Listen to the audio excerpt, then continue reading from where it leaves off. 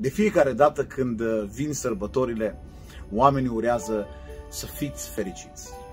Probabil că și tu ai primit ca și mine o astfel de orare, probabil că ți-e plin telefonul deja de poze, ți-e plin telefonul de mesaje, de videouri cu un astfel de mesaj. Îți doresc să fii fericit, să ai sărbători fericite.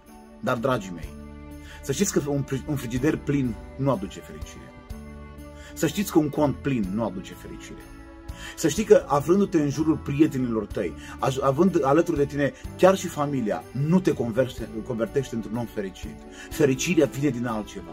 Iar în sărbătoarea aceasta a nașterii Domnului Isus Hristos, îmi doresc să simți cu adevărat ce înseamnă fericirea. Iar fericirea vine nu din contul plin, nu din masa plină, nu din mulțimea prietenilor, ci vine din prezența lui Isus Hristos. Cineva în Biblie spunea așa, că despre mine fericirea mea este să mă apropie de Domnul. Vrei să fii fericit cu adevărat? Știți ce îmi doresc în perioada nașterii Domnului Isus, în perioada sărbătorii acesteia, să se nască fericirea în inima ta.